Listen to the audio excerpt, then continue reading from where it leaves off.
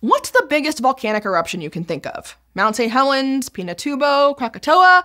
If you ask the volcanologists, none of those would come anywhere near the biggest ever. Our planet really, really likes to go boom. But the truth is, if you asked 10 different volcanologists which was the biggest eruption of them all, you might get 10 different answers. That's because some might think of the largest explosion, while others would give you the one with the most lava, or the deadliest. So let's take an explosive journey through six of Earth's biggest booms and figure out which was indeed our planet's biggest volcanic eruption ever.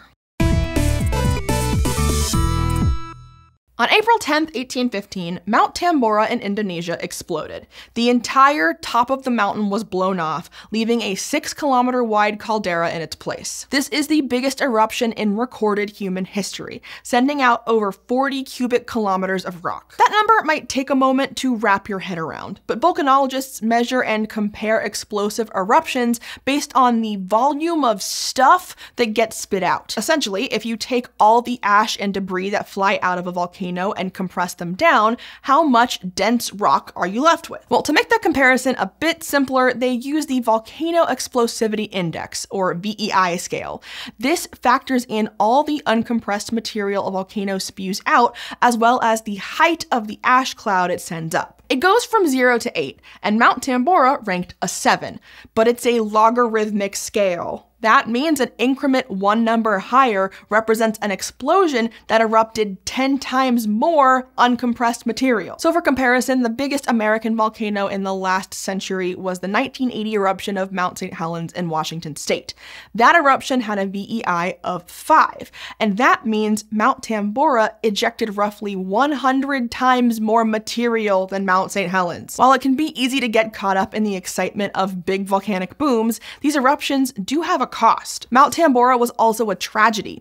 Avalanches of volcanic gases and debris called pyroclastic flows raced down the mountain toward nearby villages, killing 11,000 people. Crop failures in the surrounding area led to starvation, killing tens of thousands more. Some estimates are as high as 100,000 deaths in total, and the effects touched those living across the planet. The next year, 1816, became known as the year without a summer. See, the volcano spewed sulfur aerosols into the atmosphere. These tiny particles are very good at reflecting sunlight, so less heat makes it down to the planet's surface. The planet only cooled by around 1 degree Celsius, but that was enough to cause crop failures and famines in Europe and North America. You'll notice a theme throughout all these eruptions. These aren't the kind that look cool once you're at a safe distance.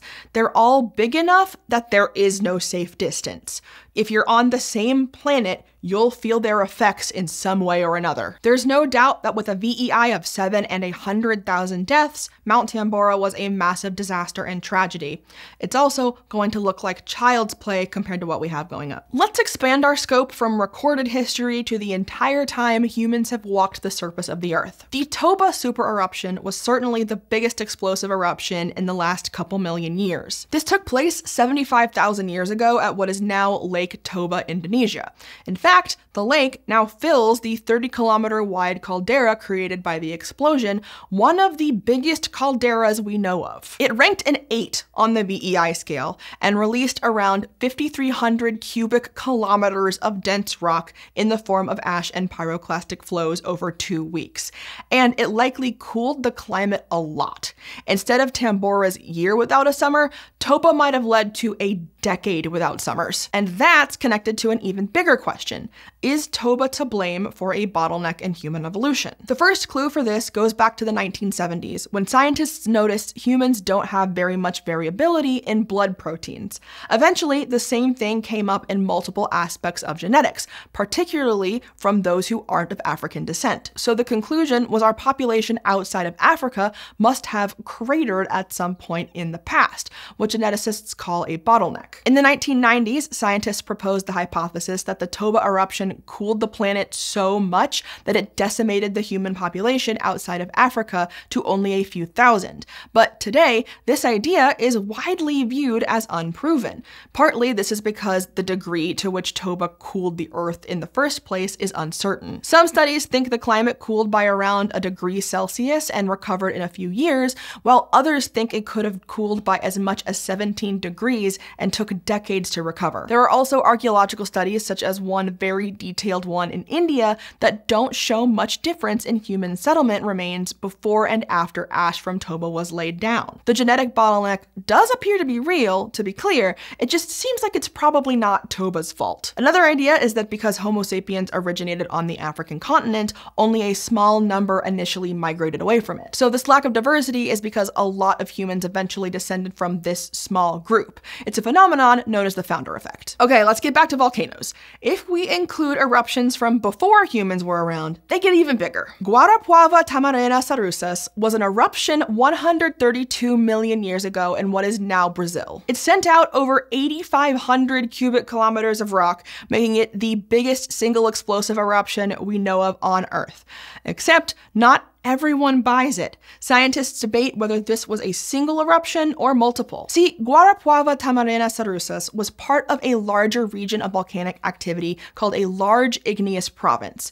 These are truly the biggest volcanic events our planet has ever seen, but they also are made up of many individual eruptions. Plumes of hot material rise up from the mantle and pour out across the Earth's surface. They cover hundreds of thousands or even millions of square kilometers and can last for millions of years. The Guarapuava Tamarana Sarusas eruption was part of the larger Paraná Etendeka traps. You'll hear these rock formations named traps, which comes from a Swedish word for stairs describing the shape of the hills that form when massive amounts of lava flood the surface. So if we want to narrow this category down to unambiguous single eruptions, Wah Wah Springs in Utah likely takes the prize for the biggest explosive eruption. This erupted 5,900 cubic kilometers of rock around 30 million years ago, but the ash from this is buried so deep that geologists didn't even discover it until 2013. It's a good reminder that there might be other, even larger super eruptions in Earth's past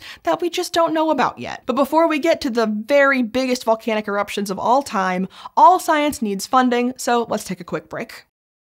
This SciShow video is supported by Brilliant, an interactive online learning platform. Brilliant's course designs help you remember what you learn because they're not all memorization. With Brilliant, you'll grow your problem solving and critical thinking skills through puzzles and quizzes. Their lessons and knowledge checks scratch your brain in new ways every day. Plus, their daily encouragement helps keep you on track and feeling good about finishing what you started. Brilliant will help you make learning part of your daily routine. That's an ultimate life hack making a habit out of something that makes you smarter. And you can try it out for free at brilliant.org slash scishow, the QR code on screen, or the link in the video description. You'll also get 20% off an annual premium subscription. Thanks, Brilliant!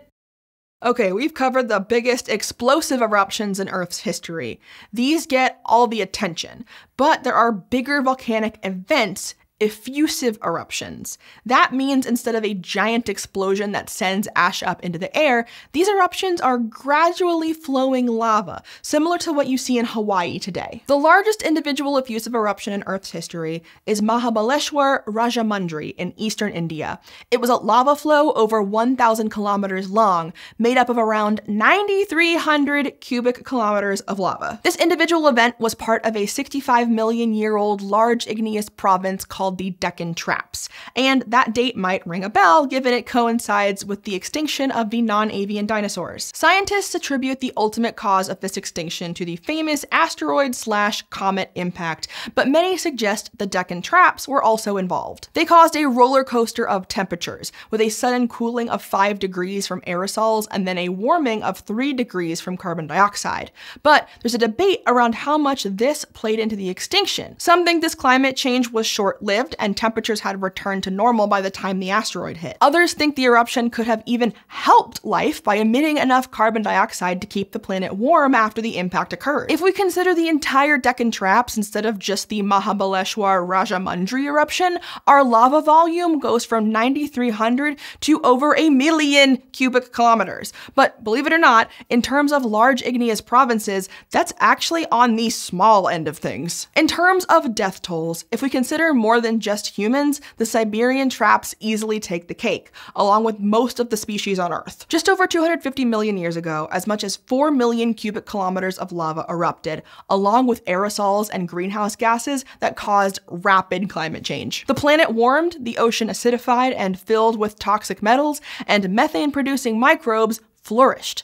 This wreaked havoc on the Earth's ecosystems by fundamentally altering the climate, habitat, and carbon cycles they depend on. Known as the Great Dying, this is the deadliest mass extinction we are aware of, killing 90% of marine species and 75% of those on land.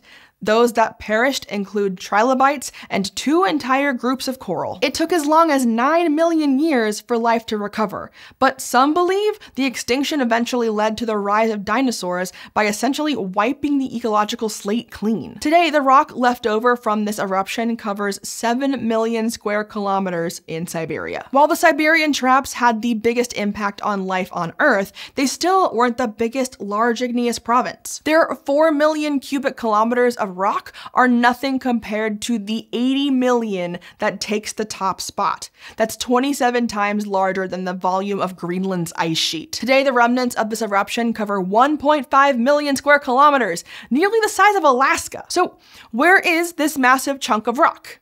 Well, it's hiding at the bottom of the South Pacific Ocean. The biggest volcanic event in Earth's history was the formation of the Ontong Java Plateau. This eruption occurred around 116 million years ago, though there are about 10 million years of uncertainty around the exact date. It's a lot harder to study rocks on the seafloor. Instead of going for a hike, you need a ship with a drill or underwater remotely operated vehicle. It's just a lot more expensive, and we've only been able to take samples from the very top section of the plateau. This leads to a debate over how much of an impact the largest eruption in our planet's history actually had on life. Geologists find a lot of jet black shale from around the same time, black due to all the organic carbon in them. These are remnants of an ocean anoxic event, when much of the seas were robbed of oxygen. While mass extinctions get all the attention, this was among the most chaotic periods in the last 200 million years on Earth. The planet's carbon cycle was thrown into disarray, causing climate climate change and ocean acidification. Some believe this was all a result of the Ontong Java Plateau eruption. Others think the timeline doesn't line up and the eruption occurred millions of years after the anoxic event. Somewhat counterintuitively, the biggest eruption might have had a much smaller effect on life compared to others. While our planet and the evolution of life on it have a chaotic history of being rocked by massive eruptions, this is also a story about our planet's resilience and ability to recover. Luckily, eruptions of this size are very rare and you probably don't need to worry too much about one happening in your lifetime. But the next time you're mixing up a vinegar and baking soda volcano with your kids, remember, we're living at a peaceful time in Earth's history. And whether you're trying to avoid a mass extinction or just a mess in the kitchen, when it comes to volcanic eruptions, sometimes smaller is better.